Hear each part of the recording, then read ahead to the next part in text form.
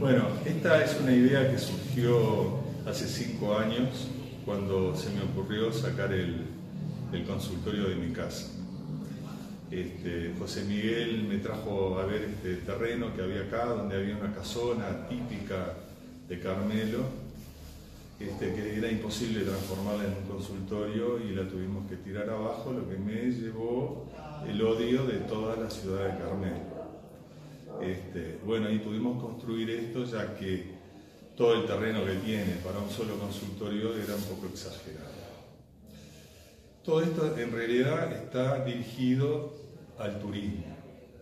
Carmelo es una ciudad turística, está creciendo el turismo, a pesar de que nos han relegado durante muchísimo tiempo, hay emprendimientos personales que han hecho que Carmelo sea un centro de atención, entre ellos las bodegas, las bodegas tradicionales, donde se puede ir a degustar los vinos de Carmelo y además en un ambiente muy agradable.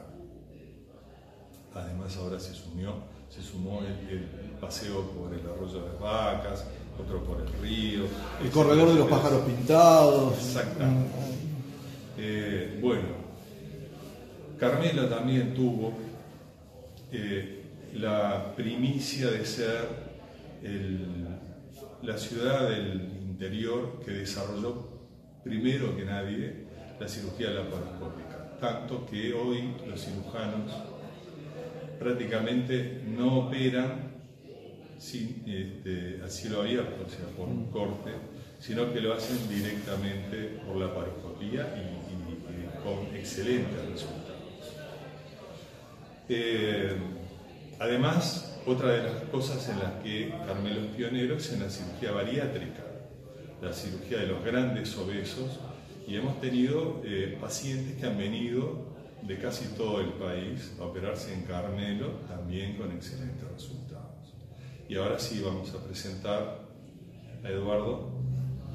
Eduardo. Y a, Lucía, que son docentes de, de la facultad de ciencias y que armaron una empresa, una empresa eh, que es la primera del país, que se dedican al estudio del genoma humano. Lo que hacen es descifrar todos los cromosomas que tenemos cuando nacemos y se fijan en cuáles son los riesgos que cada uno en forma individual tiene durante su vida de tal manera que de esa forma se puede prevenir eh, enfermedades y básicamente prolongar la vida con calidad de vida. ¿Da una probabilidad sobre determinadas patologías que uno pueda generar a lo largo de su vida o, da una certeza? No, damos probabilidades como números, sino que bueno, da un riesgo más elevado que la población en general o menos, o sea, nos manejamos con eso más que un número exacto de, de probabilidades. Bien, pero en el, en el, transcurso de la vida de esa persona, ustedes determinan que puede este, sufrir determinadas patologías. más propenso a algún tipo de, enfermedad. ¿Cómo qué, por ejemplo? Y, por ejemplo, enfermedades de tipo cardíacas o enfermedades de tipo neurológicas, por ejemplo, neurodegenerativas, Alzheimer, Parkinson, todo ese tipo de, de neurodegenerativas. Este, y la idea es determinar un poco esas no probabilidades, pero eh, mayores eh, propensiones a muchas enfermedades para poder hacer algo preventivo y quizás postergar bastante eh, la aparición de las enfermedades. Esto o capaz que prevenir. Es medicina de punta, ¿no? Estamos hablando de medicina de punta. Esto es el futuro hoy. Estamos hablando del futuro hoy. Justamente ayer, en un programa de History, estaban hablando de este tema y el presentador que estaba haciendo la, explicación de, todo este procedimiento nos decía que un niño que nazca hoy y se le realice un genoma humano este, va a tener la posibilidad de duplicar sus años de vida con calidad de vida. Eso lo dijo él.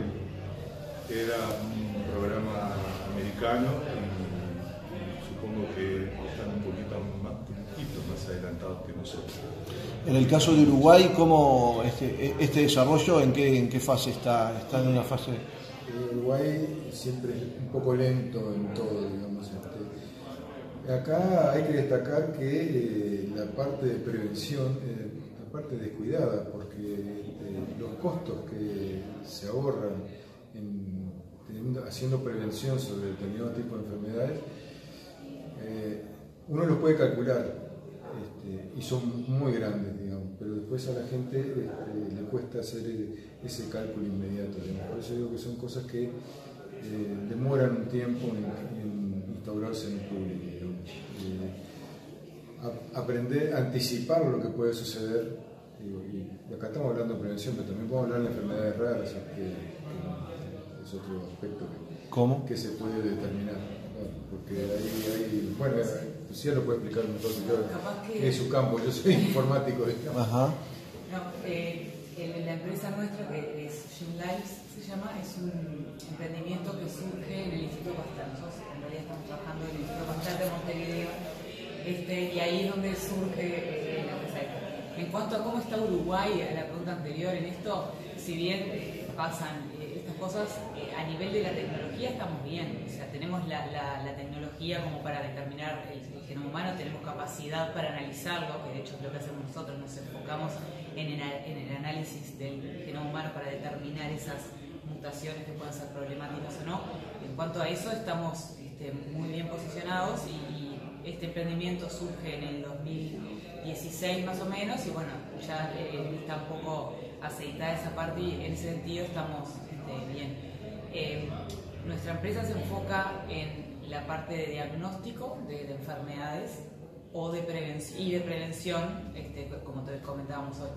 En la parte de diagnóstico es, muchas veces hay eh, individuos que tienen em, enfermedades de difícil diagnóstico, se llaman enfermedades raras a veces porque son muy infrecuentes y con estas tecnologías se puede, determinando el ADN, a veces encontrar, si son de base genética de las enfermedades, se puede encontrar la mutación que está causando la enfermedad y ahí, este, bueno, tenés un diagnóstico y ver los posibles tratamientos. ¿Se puede operar sobre esa mutación para, para mejorar la calidad de vida? Depende de lo que sea, o sea, depende este, los médicos también, eso es un trabajo este, en conjunto.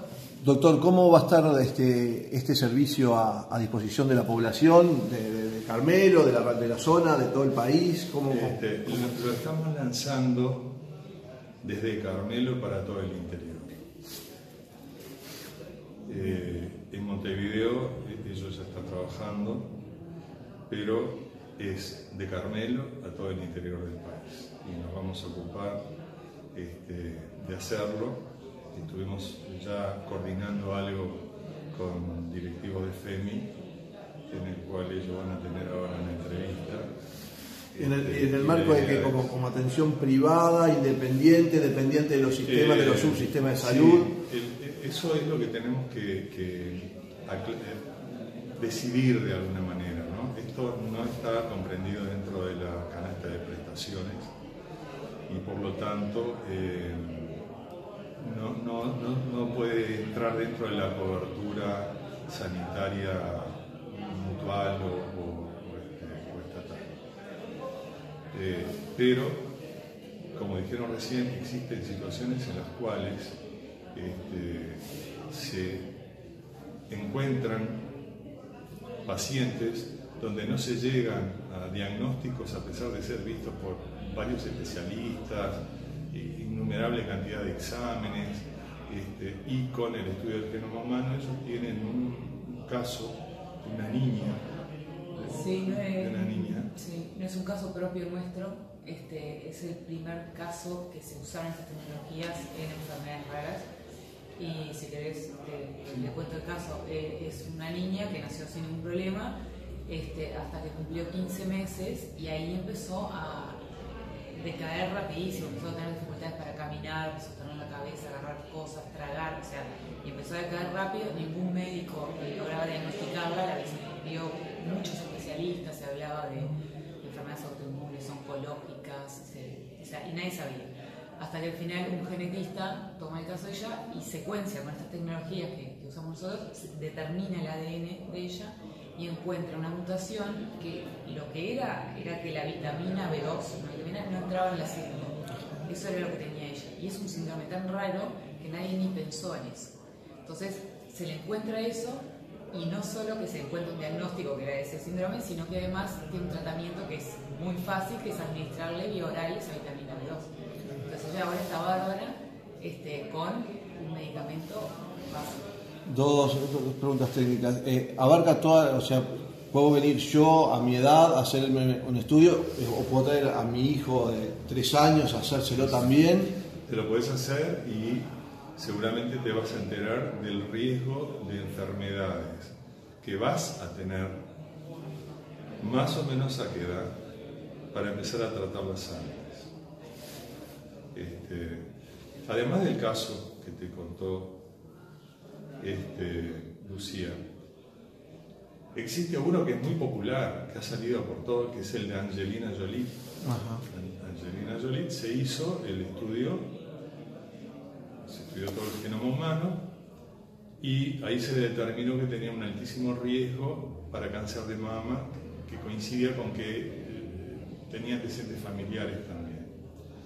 Un cáncer de mama muy agresivo, con lo cual decide hacerse una mastectomía bilateral, ponerse dos prótesis y eliminar el riesgo de morir por un cáncer de mama.